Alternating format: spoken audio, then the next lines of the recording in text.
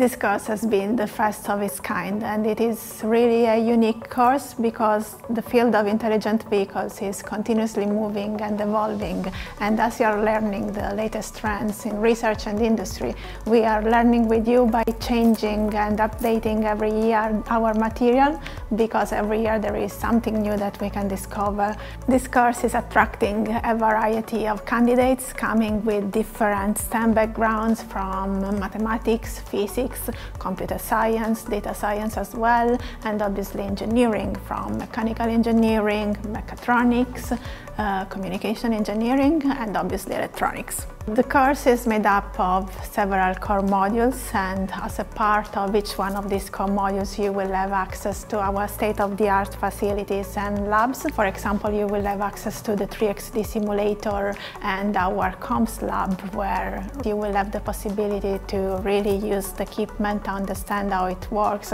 and how it will contribute to the future of intelligent vehicles. We do have a combination of theoretical lectures, case studies. We do have as well guest lectures from industrial partners. The intelligent vehicles field is a very fast-paced field and in order to be competitive you need to understand what are the latest trends in research and industry and this is why the program is so rooted into our research activities in the intelligent vehicles group and with projects with our industrial partners.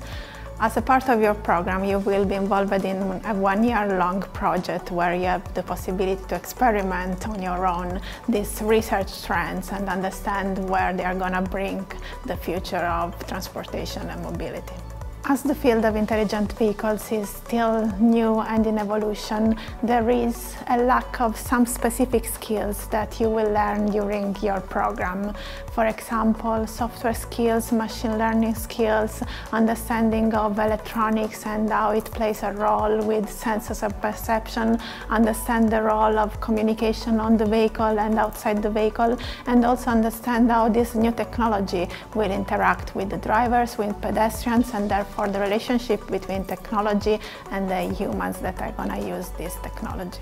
And for me, the most exciting part of being here with you is that we have a challenge in front of us, how we are bringing intelligent vehicles safely on the roads, and you will be part of this challenge with us.